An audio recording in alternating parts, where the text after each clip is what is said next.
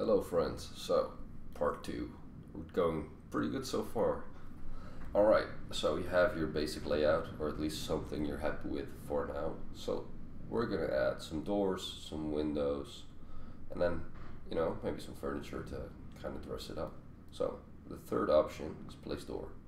By default it comes with this awesome, awesome white door and this white frame. If you want to make a change to that, there's two options here, doors and frames on the side. If you want to do a different door, select that one and as you can see it gonna pop up with that one. If you want to do a door frame, you will probably not see these bigger ones, but bear with me, we'll get to that. You can select a different one and go with that. So I'm gonna add a door right there. And then in case you don't want a door frame, you can of course press none and you can just add in a regular door. I want to keep the door frames, I want to go white for the inside. And then for doors, I want to select none for the kitchen so we have an open kitchen. And then I'm gonna select let's see for the bathroom I'm just gonna select this one. And for the bedroom as well. So now we have doors. We'd still like some windows as well. So the next button conveniently is place the window button. Now there's three options for windows instead of the two for doors. So we have the window frame we have the curtains that you can select so we're gonna go with a big white drapey ones for the inside. And then I'm gonna change the window to, let's see, this one. And for the shutters, you don't need to do shutters, but I think they look pretty, pretty funky, pretty nice. So we're gonna add a little window there, maybe one there. I'm gonna put the dining table here, so at the head of the dining table I want one, and then maybe mirror it to the other one. Then for the curtains, because I don't want to have the same curtains in the entire house, so I'm going to go with the wide, smaller curtains for the bedroom. And then for the kitchen, I'm going to go with one of those roll-up thingies.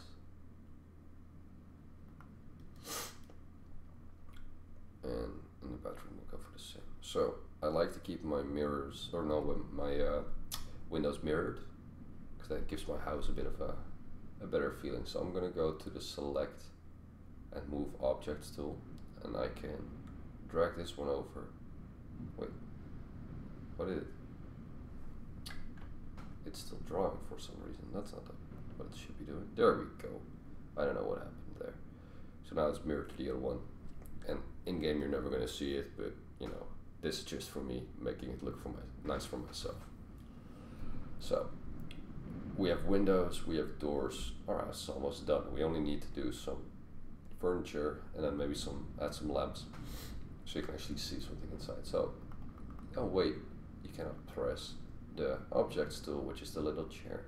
You know why that is? Because you have to select an object for some reason.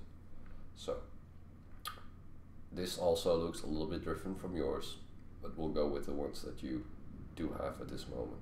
So there should be a seating, let's see, there, seating indoor.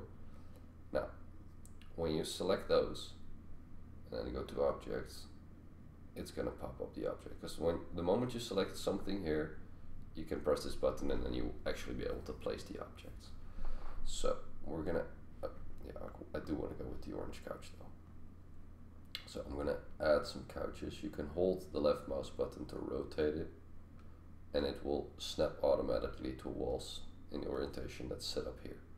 So we're gonna have a little bit of a chilling area there and then maybe have another couch here with a TV. So we're gonna add a high table for the dining right there, and a low table for this stuff, and a little TV table over there. So there's a whole bunch of options in here, and it, would be best if you just play around with it and see for yourself, because I, I kind of know where stuff is at this point. But for you, I, I can imagine it's a bit of a oh my god, there's so many so many options. Most things are pretty easy to find, but you just need to know where they are. Well, that makes no fucking sense. They're easy to find, but you need to know where they are. You'll get to know where they are as you use them a bit more. sorry, I have a, a bit of a cold. So if that's my nose uh, bothering you, my bad. So I'm gonna add a big telly and then maybe some shelving next to it.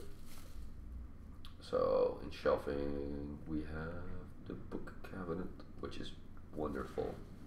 And then maybe this little thing right there. And then in storage, I believe there is, yeah, this little one. Put that in the corner. So that will look great. And so for the bathroom, we're gonna add a bath, which is wonderful. And then maybe toilet, because that would make sense. And now there's two things you can do. You can add a sink that's actually standing on itself or hanging on the wall. But in this case, I'm gonna add a counter in the bathroom. And I may as well also add a counter to the kitchen. And then when I go to sinks, I can actually just place one on top of that like this. Now of course, you'd also want a mirror in the bathroom. So there's walls decoration which has a whole bunch of mirrors, which will really, uh, you know, dress up the place a little bit. Same goes for the rest of the house Cause if you add some stuff to the walls, it will feel a lot more lived in. Oh, almost forgot the bedroom. So we're gonna go to bedding and we're just gonna select one of the beds and then maybe add some cabinets next to it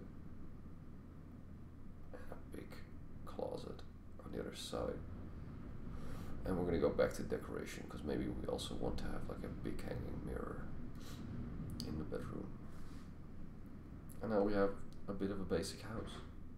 As you can see, there's nothing too fancy. We added some windows, we added some doors, we added some furniture, and, and that's it. That's kind of it. Oh, wait, there's one more thing. You do need, this is not an option, you do need to do this. So if you want to have lights in the house, you need to add a light switch in every room. So that means I have to add one in the dining room, but also in the living room, even though there's no wall in between them they still count as two rooms for spawning purposes. And let's put the last one there. Because if you place lighting or light switches, it will know that the light switch just generates light for this room. If there's no light switches, there's not going to be any lights in the room. And now we're at it, we may as well just add a, for decorative purposes, add a lighting outdoor option little lamp just because it looks nice. So I think that kind of finishes up all of the stuff a basic house needs. We have a living room, we have a dining room, we have a uh, kitchen, we have a bedroom, and we have a bathroom. Thanks for watching for this time, and then I think next tutorial we'll do the outside and maybe the roof, because roofs are quite tricky to get right, and there's a lot of little tricks that you can do.